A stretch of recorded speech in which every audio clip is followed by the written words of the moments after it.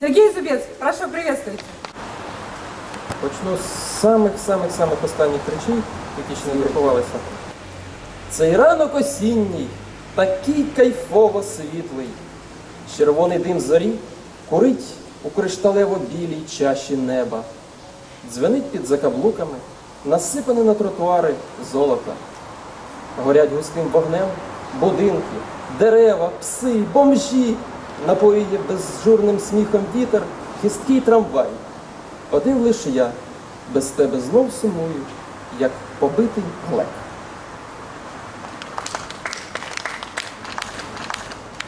А це місто спить. Бензинові калюжі духмяно квітнуть ліхтарями. Каштани білі скипають медом. Нічне повітря таке чисте, таке лагідне, наче усмішка на твоєму лиці. Ти поруч, ти нічого не знаєш.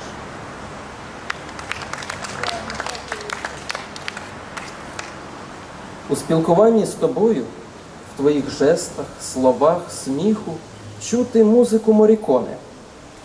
Я ж часто бачу себе режисером кіна, Тарантіно, наприклад. Власне, життя наше іноді нагадує мені жах його фільмів. Я думав довго і нарешті вирішив. Було б непогано, якби твоя музика грала у моєму кіні.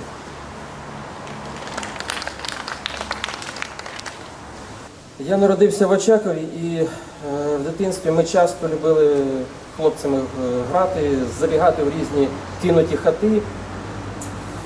І ось про одну з таких хат я написав такий текст. Називається Хата дива. Стоїть на кручі, наче небо підпирає плечима ця хата. І така дивна. Удень вітер гуляє в порожніх кімнатах, що колись знали скло, а тепер лиш трухляві рами, як рани, дах посивів, і вся вона, як обличчя старого. А вночі буває, таке там твориться. Чути голоси, музику, співи хмільні, вогонь блимає, чиї стіні ворушаться. Лячно тим рибалкам, що неподалік мешкають. А прийдеш уранці, все так само. Так само вітер, так само вікон провалля. І не було нікого. Відтоді, як стоїть вона кинута. Прийшли якісь, щоб знести хату. Вдарили раз, вдруге, почулися голоси з хати. Хтось наче зойкнув, а хтось лаявся чортом. Кинулись усі геть, порозбігалися, дали хаті спокій. Стоїть вона й тепер напіврозвалена. І так само вночі там збираються, тільки не весілля справляють. Пісня лється, і ніби хто тишком заплаче.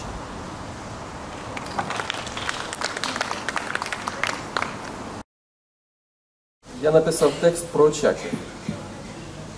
Що таке Очаків? Це ультрамариновий світанок на крилах чайки, оголені ребра круч, де покоїться прах титанів, і кривавим більмом блимання маяка над понтом. Це смерть бригадира Горіча, бронзовий орел рве чавунне м'ясо гарматних ядер. Це пуп землі, у якому лежать мої предки. Це колишня мечеть, яка стала музеєм імперської слави. Це колишній музей імперської слави, який став церквою. Це колишня конюшня, яка стала школою. Це білий будинок під червоним дахом, де прожив я 17 років. Він завжди здавався мені фортецею, захистом від собак і вітрів. А сьогодні я раптом помітив, як він присів, ніби по коліна в землю. Це сусідка, котра жила з двома чоловіками одразу. Пам'ятаю, як вона заклиналася, як вилічена труною до цвинтаря. Один її чоловік помер, а другий ніс їй хустку. Це сяйнотілий пісок пляжу, патлатий фотограф і верблюд меланхолік, берег сопливих медуз і панцирних крабів, хлип розчавлених мушель. Це свято Нептуна, Бог у рибальській сіті, засмаглі русалки на іржавому причалі, і хвилі, хвилі. Це вулиці у білому шлюбі акацій, базар, де смуглі корейці продають перші кавуни і цибулю, симпатичні, хоча й не всі дівчата купують собі купальники і креветок. Це спека, це спека, напруженість тіла, зухвалі доторки. Це зимове безлюддя, холодні непривітні провулки, втомлене сонце, згасання дерев і днів. Це нестерпність бути самому. Це дорога до найближчого бару, розділити самотність з подібними. Це дівоча постава бронзового лейтенанта Шмітта на вулиці Шмітта. Це кислий присмак зеленої смородини і терпкий портвейну, розпитому на випускному. Це дорога до бібліотеки, в якій мене ждуть мої книги.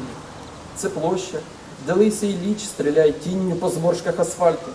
Це місто, вулицями, якого гуляю з нічев'ю, думаючи про Борхеса і нові джинси. Це те саме місто, тільки без мене. Це минуле моє і майбутнє в ультрамаринових небесах, в криках чаяк, у голосі матері. Мати кличе обідати.